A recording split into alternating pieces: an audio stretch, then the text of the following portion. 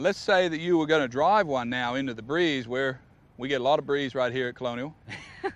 Yeah, so now we got a pin. Still, Let's say we got the pin in number two. We're 70 playing number two, and the pin's in the back, and you've Yeah. driven, hit a good drive, and Yeah. you're down there 80 yards away, but you're dead into a big wind. Yeah. So now we want to land it.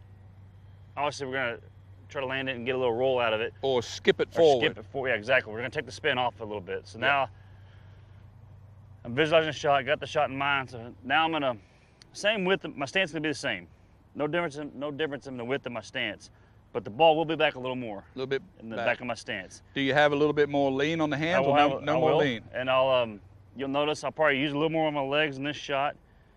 The When you say use your legs, will you knee knees? I'll probably drive it a little more yeah, yeah. drive my knees through. So now I'm gonna deloft the club a little bit.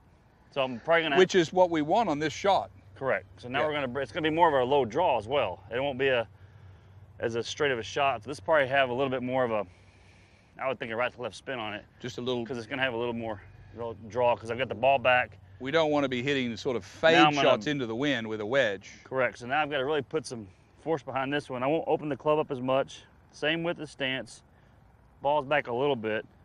And you'll notice the backswing is not going to be quite as far back.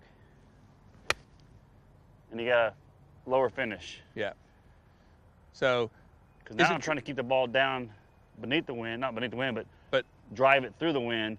where it's not affected. Because now if the wind catches it, it's not going to balloon on me, come up real, real short, and I'm able to really control